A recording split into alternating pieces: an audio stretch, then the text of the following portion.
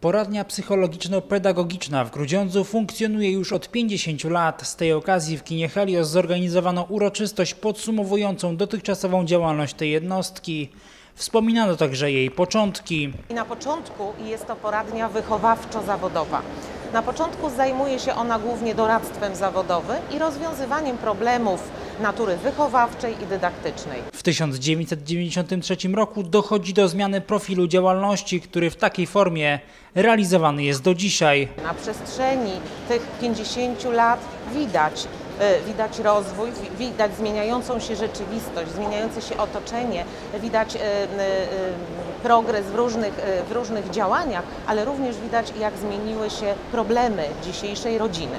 Do poradni trafiają dzieci w różnym wieku. Największą rolę w tym przypadku odgrywa współpraca poradni ze szkołami. Niektórzy z nasi pracownicy e, współpracują bezpośrednio w szkołach, chodzą po szkołach z różnymi zajęciami.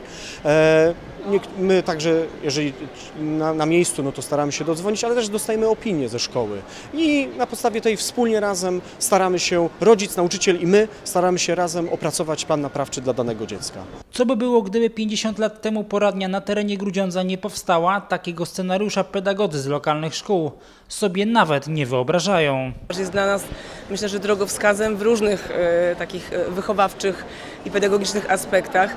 E, coraz więcej trudności, coraz więcej nowych problemów, takich związanych, no, no, cywilizacyjnych, na przykład cała ta cyberprzestrzeń. Poradnia przez 50 lat swojej działalności mierzyła się z różnymi problemami. Większość z nich pojawia się chociażby wraz z pokoleniowymi zmianami, czy na przykład postępem technologicznym. Dzisiaj takimi problemami nas y, bardzo martwiącymi, na które szukamy rozwiązania, to jest mobbing, sexting, stalking, uzależnienie od tym, na, na przykład od internetu, to są zaburzenia osobowości, to są choroby psychiczne u dzieci i młodzieży, y, to są zaburzenia komunikacji językowej. Wszelkie pojawiające się problemy rozwiązują w tej sytuacji pracownicy poradni, o których dzisiaj mogliśmy usłyszeć na przykład takie opinie. To są osoby, które e, nigdy nie odmawiają nam pomocy, współpracy, zawsze służą radą, gotowe są przyjechać e, do szkoły, rozwiązywać problem w szkole na gorąco.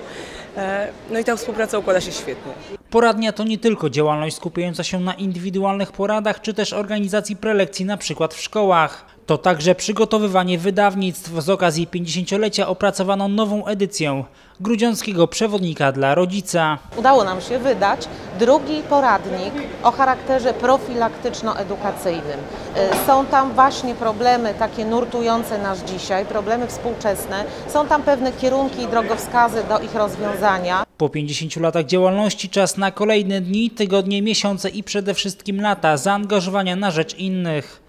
Plany i marzenia są, czas na ich realizację. Chciałabym, żeby y, utworzyć w Grudziądzu Grudziącki Uniwersytet dla Rodzica, aby promować pewne działania, aby mm, pokazywać y, pewne rozwiązania, aby y, uświadamiać rodziców w wielu aspektach i wielu sprawach. Poradnia swoim działaniem obejmuje miasto i gminę Grudziądz, okoliczne gminy powiatu grudziąckiego, Gruta, Radzyń Chomiński, Roguźno, Łasiń i Świecie nad Osą oraz inne gminy, które podpisały porozumienie z organem prowadzącym.